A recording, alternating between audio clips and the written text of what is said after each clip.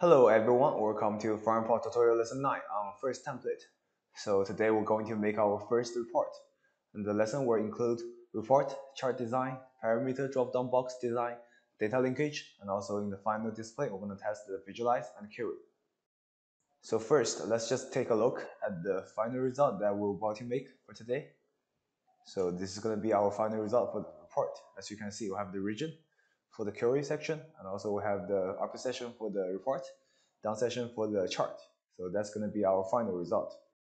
Alright, so now let's make our first report. Click on here to make a new template. Next, under serve, we'll have the define data connection. In here, we're going to check our database connection. So if you want to learn more about database connection, please go and watch lesson one. Alright, so next, we're going to create our dataset. Still, we're going to use DB query dataset as example because we want to make parameter from dataset. So in today's lesson, we will use sales volume, this data table, as our example. So next, we're going to use where to lead to the following SQL language command to create our dataset parameter. So in here, we're going to use region as our parameter. Okay, so next, hit the refresh button. As you can see, we already have the region to test click on preview and uh, type one of the data on the region table, East China. And uh, as you can see, we already have every data, data under East China. So we successfully created our dataset parameter. So next, we're going to add another dataset. So the reason why we need to add another dataset is because we want to select some specific data from this uh, sales volume data table. So in here, we're going to use uh, salesperson. That's one of the data we need to select. And also we're going to type another command, sum, to sum of the sales for each salesperson. So sum sales volume as our total sales. So that's because under each salesperson, they have a lot of different product. So we want to sum up the total sales. And also we want to see the total sales grouped by different salesperson. So we need to type in grouped by salesperson. All right, so by now we have done the define our data set. So that's going to be the data pre preparation part. So let's save it.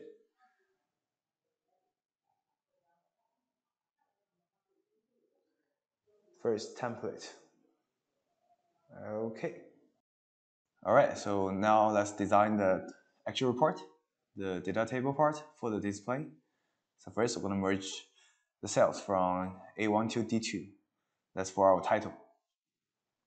So for this table, we're gonna call it region cell situation.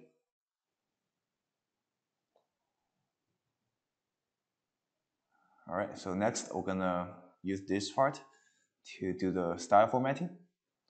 So we're to make it center and also we're to make the title a little bigger by selecting a bigger size for the front and also make the front bold to look better.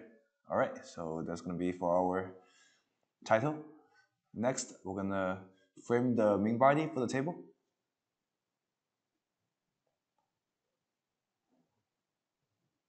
Alright, and still we're to merge more cells inside this table because it's going to use for different title entry.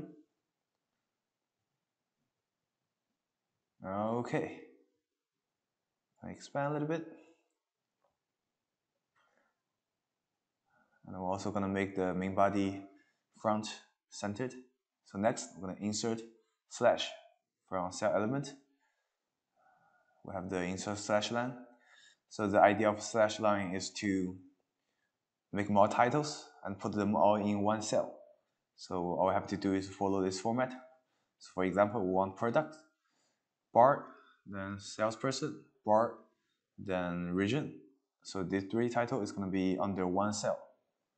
So we can see the final result showing here. So from cell A3, as we merged, we have three title within one. All right, so now we're going to drag every data to the corresponding cell, region, and salesperson, and then we're gonna let them expanding vertically by default. Also in here, we're gonna drag product.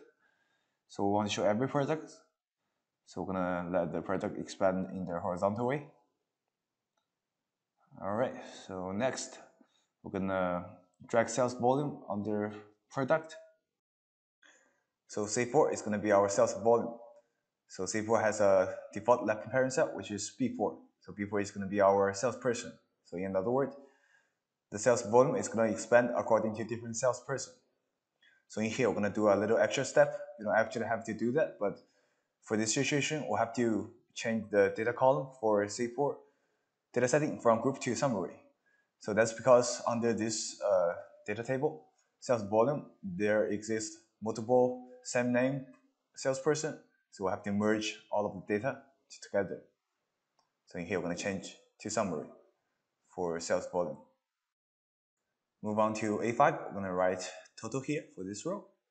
Move on to C5, we're going to insert a function here. So basically, we want to add a sum up function to sum up uh, C4, which is our sales volume. All right. So in this way, for C5, it's going to be our total sales volume expanding through different products. So next, we'll move on to D3. Going to write the total sales here. So also, we're going to drag total sales from DS2 here and let the total sales expand vertically. So this total sale will expand according to different salesperson. Still, we're going to write another function for D5, which is still a sum of function to sum up D4, the total sales. So in cell D5, it's going to be the everything's total. All right, so we have another step to bind the data for C4 and the D4 because they're from different data sets. So click on D4, filter condition. We want to set the sales person from DS2 equal to the sales person from DS1. So in this way, uh, DS1 and DS2 will binding together through the same salesperson. All right. Next, entering the parameter setting page, add all the parameter region. Next, click on the little widget style, choose drop-down box. And next, I'm gonna hit on data dictionary to do the widget data binding for parameter. So last time I was talking about binding data using the type of data set. So in that way, we can't directly use DS1 because we already have parameter made in DS1. So today we're going to teach you another way. Use data source from database. Choose our FD, FR demo English database. So in here, we're gonna find our sales volume table. Directly bind our data region. So in this way, we don't have to create another data set. Next, we're gonna holding shift, drag region and the widget to a little close to the query for the formatting. So that's everything for parameter setting. All right, so next we'll move on to the final part, chart making. So under the region cell situation table, we're gonna select a large area of cells to merge it in order to make space for our cell chart inserting. So on the insert cell element, we'll click on insert chart Still, going to use column chart, for example. All right. So next, we're going to do the data binding for this column chart. So this time, I'm going to use cell data. So the category, the x, x-axis is going to be B4, which is our different salesperson. And also the series name, different column, is going to be C3, different products. And also the value showing is going to be uh, C4, the total sales volume. So move on to the cell expansion. We want to change the parent cell to none. So in this way, you want expanding for this chart. All right, so by now, we're pretty much done with the first template design. So as you can see, we have the parameter setting, the report table design, and also the chart. So now let's hit the preview. So by query East China, as you can see, we have the final result and uh, let's do another adjustment for the region and the chart. So first, let's just make a frame for the chart to look better.